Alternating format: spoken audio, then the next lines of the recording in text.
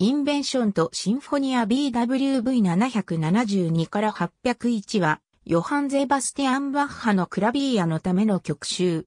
経典時代の1723年頃の作品であり、同年、バッハは、聖トーマス教会音楽監督に就任した。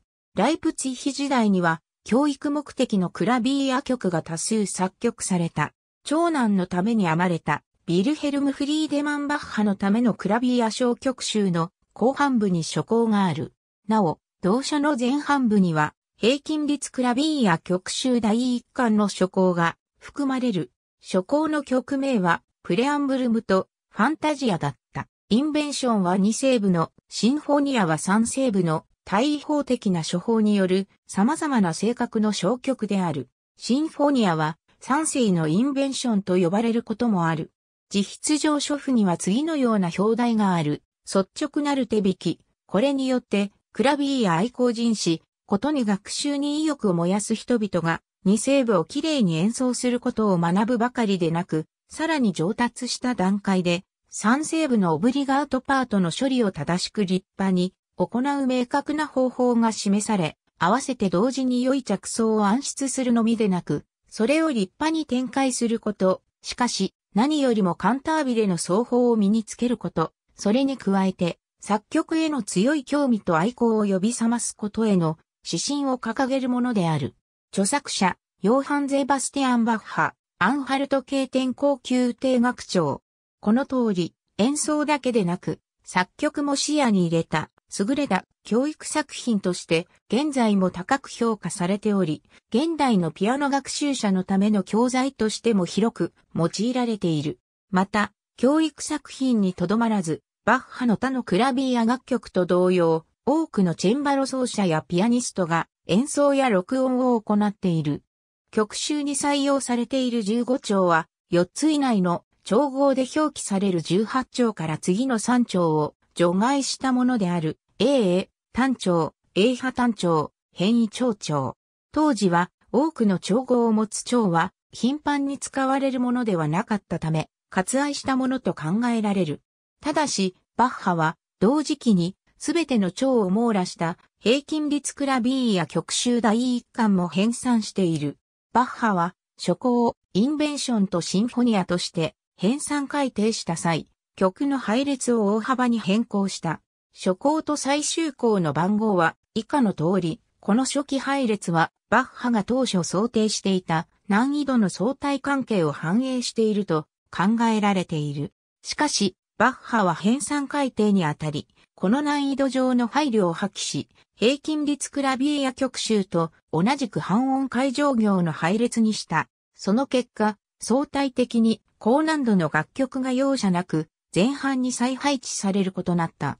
そのため、園田隆弘など初期配列を参考にした独自の順序による学習を推奨している音楽家もいる。他のバッハの曲集と同様、古くから多くの工程版が出版されてきた。特にインベンションとシンフォニアは学習者の需要があることから原点版にはない表現記号を肯定者が保出した実用版が多い。その解釈は極めて多様であり、このことは演奏をいくつか聞き比べすることでも実感できる。解釈や装飾音の選択等によっては各曲の印象や難易度はかなり変化する。第1番波長長 BWV772 4分の4拍子。主題は CDE 回 DEC の16分音符と GCHC の8分音符とからなる。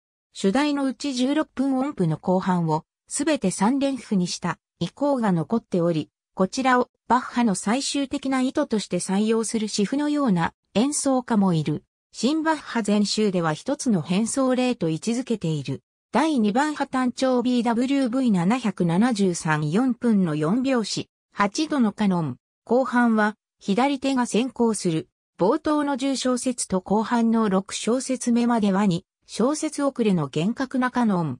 主題にはため息の音形が含まれる。第3番に長調 BWV774 8分の3拍子。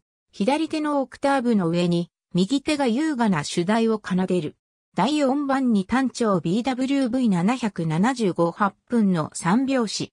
上昇音階を中心にした主題。しばしば非常に速いテンポで演奏される。第5番変歩長調 BWV776 4分の4拍子、20体違法。第6番歩長調 BWV777 8分の3拍子、シンコペーションで書かれた曲。右手と左手の兼ね合いが妙味を出す。そなた形式を彷彿させる2部形式。繰り返し記号が2箇所についているため、他の作品よりも演奏時間が少し長くなる。第7番補単調 BWV778 4分の4拍子。左手の8分音符によるオクターブ加工が特徴。第8番へ、長調 BWV779 4分の3拍子。カノン。打楽器的な主題。海 A 海 C 回の8分音符と加工音階の組み合わせ。マッキントッシュの電子効果音にも使われるなど、古典が現代に通じる新しさを備えた修作。第9番へ、単調 BWV784 分の3拍子。滑らかな加工音階をもとに、ユニゾンが登場する。第10番と長調 BWV781 8分の9拍子。ジーグ風の曲に、フルガ様式を組み合わせている。ゆるいアルペッチョが支配する。第11番と単調 BWV782 4分の4拍子、16分音符と8分音符による部分的な半音階が印象的。第12番異長調 BWV783 8分の12拍子、左手の音階に乗って右手が A 音を伸びやかに歌う。第13番異単調 BWV784 4分の4拍子、右手アルペッチョと左手のシンコペーションが交代しながら完成されたポリフォニーを築く。第14番変路長調 BWV785 4分の4拍子、32分音符と16分音符の組み合わさった軽やかな主題。転調が激しい。第15番路単調 BWV786 4分の4拍子。第1番波長調 BWV787 4分の4拍子。伸びやかに上昇する音階主題。第2番破単調 BWV788 8分の12拍子。落ち着いた曲。音階が随所に登場し、単調さを避けている。第3番に長調 BWV789 4分の4拍子。冒頭で家族調の第4音である C が出てくるため、あたかも都庁調であるかのような印象を受ける。平行3度の音階、複雑な左右の受け渡しが発生するストレッタなど、高度な技巧が要求される。第4番に単調 BWV794 分の4拍子、16分音符の D シス D の後4度加工、8分音符で6度上昇する動機が多く用いられる。第5番変歩長調 BWV791 4分の3拍子、移行がある。左手は一定の音形を繰り返す。第6番補聴調 BWV792 8分の9拍子、還元楽曲風。第7番補単調 BWV793 4分の3拍子。第8番へ、長 BWV794 4分の4拍子。第9番へ、単調 BWV795 4分の4拍子。三世の風が、ため息の音形を含む、第1主題、半音階下行のラメントバス、16分音符の部分からなる3つの主題が同時に単位するミリタイ法で書かれている。バッハの生前から評価が高かった。第10番と長調 BWV796 4分の3拍子。第11番と単調 BWV797 8分の3拍子。分散和音の加工の後8度跳躍する主題。第12番胃腸長 BWV798 4分の4拍子。同期とバスを交互に分散した形の16分音符が多用される。第13番胃単調 BWV799 8分の9拍子。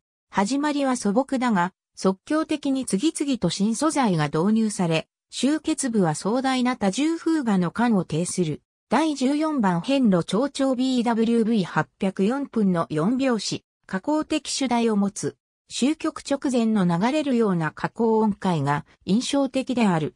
第15番路単調 BWV801 16分の9拍子、スラーとスタッカートの組み合わされたリズミカルな動機、H シス D シス H の動機、32分音符のアルペッチョからなる。ありがとうございます。